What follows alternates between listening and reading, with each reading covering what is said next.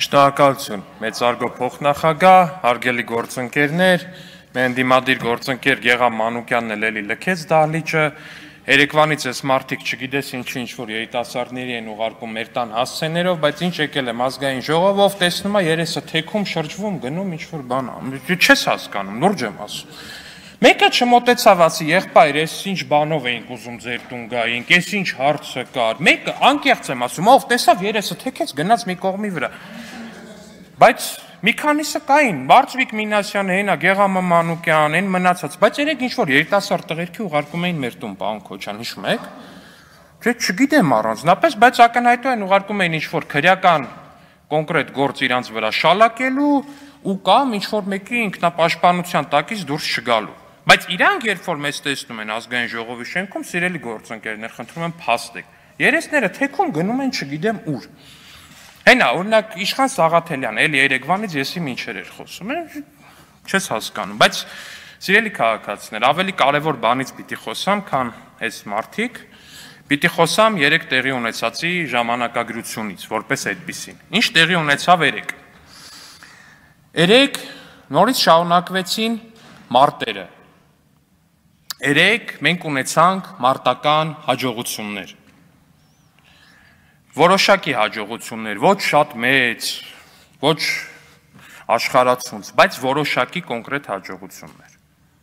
Դրանից հետո Հայաստանի Հանրապետության վարչապետը այստեղ այս բարձր ամբիոնից հայտարարեց, որ Հայաստանի Հանրապետությունը իր սուվերեն տարածքով միջանցք իր սուվերեն տարածքից մի միլիմետր անգամ չի պատրաստվում զիջել ոչ ոքի որ մենք պատրաստ ենք մեր տարածքի ամեն մի միլիմետրի համար կռվել։ Հայտարարեց։ Ինչ եղավ դրանից հետո։ Սկսվեց ինֆորմացիոն դիվերսիա կոլաբորացիոնիստական ուժերի կողմից, ովքեր ղեկավարվում են Հայաստանից դուրս գտնվող կենտրոններից, ովքեր անհայրենիք սրիկաների նման սնվում են Հայաստանից դուրս գտնվող կենտրոններից, ստացան հրահանգ Հայաստանի զինվորների թիկունքում բացել երկրորդ ճակատը, հրապարակեցին մի կեղծ փաստաթուղթ, որը իբր ստորագրվել է կամ ուր որը կստորագրվի, որը ընդհանրապես գոյություն չունի որպես այդպեսի։ Հետո վարչապետի ելույթից ինչ որ մի րոպեանոց հատված կտրեցին կոնտեքստից ու փորձեցին չգիտեմ էլ ինչ կերպ ներկայացնել, ու հայ հասեք փրկեք, հասեք փրկեք ստորագրելա կամ ստորագրում է, Այդ ընթացքում սկսեցին զանգել սահմանամերձ բնակավայրեր, թե իբր հանձնելա փախեք, փրկվեք։ Ու այս ամենը նրա համար, որովհետև շատ խիստ ազդվել էին Հայաստանի զորքերի 3 տված կատաղի մարտերից, այն դիմադրությունից, որ ցույց էին տալիս մեր տղերքը, այն դիմացկություն դիմացկունությունից, որով կանգնած են տղերքը կրակի են տարապիտակ, որը չի եղել նույնիսկ ապրիլյան պատերազմի օրերին, որովհետև ու ամենակարևորը խիստ վրթովված էին նրանք կամ նրանց տերերը, որ Հայաստանի Հանրապետության վարչապետը այս ամբիոնից հայտնեց, որ միջանցք չի տալու։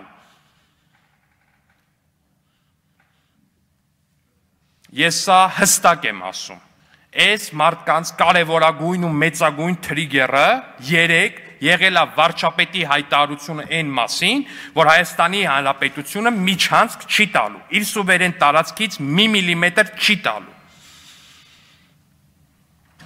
Այս մարդիկ, ես ձեզ եւս մեկ անգամ եմ ասում, սնվում, կերակրվում, անգամ ծնվում են որոշ դեպքերում օտար ու Հայաստանից դուրս գտնվող իրավիճակներում, այսպես անվանենք դա։ Ու բոլորս ուզում եմ հասկանանք, որ նմանատիպ գործելավոճը, երբ տղերքը սահմանին կռվում են, իրոք կատաղի կռվում են, ցանկացած մարդ, ով ապրում է այնտեղ սահմանամերձ բնակավայրերում կփաստի, թե ինչ կատաղի կռիվ են տվել մեր տղերքը կրվում են, այստեղ հանկարծ հրապարակվում է իբր ստորագրություն, իբր զիջողականություն եւ այլն։ Դուրս են գալիս կատաղի միտինգի կանխելու են վարձու ինչ որ 20 կոպեկանոց դերասաններ են վարձել, որ լացելու վիդեոներ նկարեն իբր, թե իբր իրանք լացում են, եկեք ասեք, բայց երևում է մարդը իբր լացում արդյունքը չի գնում, որտեղ վտեղել են փողի մեջ մտել, փողը կերել, նորմալ դերասան չեն վարձել։ Հա այս մարդիկ ամեն ինչում են ապիկար։ Ու այդ ամեն ինչը անում են նրա համար, որ տղերքը սահմանին բարոյալքվեն, որ սահմանամերձ բնակավայրերի ժողովուրդը բարոյալքվի, որ բարոյալքվի, massայաբար լքի, փախնի։ Սա իդեպ այնա ինչը որ արել են 44 օրյա պատերազմի ժամանակ։ Գնացել են պոստերով, պաշտպանական գծերով, ասել են Նիկոլ հողերը տվել ախի կռվում, փախեք, քանի չեն եկել։ Ու եղել են հավատացողներ։ Եղել են բարոյալքվածներ, Բայց իրանք ինչ են արել այդ ընթացքում։ Իրանք ворչերում, չգիտեմ որ падվալներում, չգիտեմ ինչերի տակ պահած ունեցել են իրանք sense մարտական ռեզերվները գործակալական ցանցերի, որը նոյեմբերի 9-ին դուրս է եկել փողոց Հայաստանում հեղաշրջում կատարելու։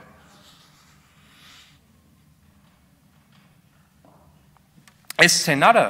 սիրելի ընկերներ, այս սցենարը առավել քան կանխատեսելի է։ կան Այս սցենարը, որտեղ մի անգամ արդեն իսկ փորձել են աշխատացնել։ Աշխատելա massամբ։ Աշխատելա միայն Արցախում զորքերի մի մասի վրա, որոնց փորձել են ու ստացվել է նրանց մոտ բարոյալքել, խոճապային տրամադրություններ սերմանել, դրթել փախոստի։ Փարք մեր բանակին, որ երեք, չնայած այս տեղեկատվական դիվերսիային, Չնայած այս Հայաստանի Երևանի սրտում արված դիվերսիային չեն տրվել դրան, ամուր են մնացել իրանց տեղերում, չեն բարոյալքվել եւ վստահ եմ այդպես էլ կլինի։ Բայց սիրելի հայրենակիցներ, ես ուզում եմ եւս մի կարևոր հանգամանքի մասին խոսալ։ Մի այսպիսի տերմին կա՝ օկտակար ապուշ։ Օկտակար ապուշ տերմինը օգտագործում են այն մարդկանց հասցեին, ովքեր իրենք էլ չհասկանալով փաստացի դառնում են ճշտամու տեղեկատվական գործիքը։ Տարածում են ճշտամու կոդաշնետված տեղեկատվական ինֆորմացիան, նրա նարատիվները, նրա թեզերը, օգտակար ապուշները չափազանց վտանգավոր են որովհետև նրանք ամենակ ի տարբերություն կոլաբորացիոնիստների Նրանք իրապես հավատացած են իրենց նպատակների ազնվության, բարության ու հայրենանվերության մեջ։ Ես խնդրում եմ բոլորին հանկարծ ու ոչ մի պարագայում օգտակար ապուշի չնմանվել։ Մերժել բոլոր կոլաբորացիոնիստական տականքներին ու սրիկաներին, մերժել բոլոր